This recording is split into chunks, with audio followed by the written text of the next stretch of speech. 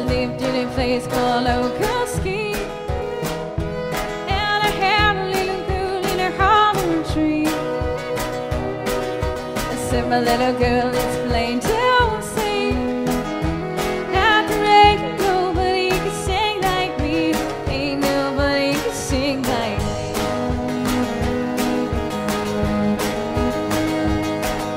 She said it's for me to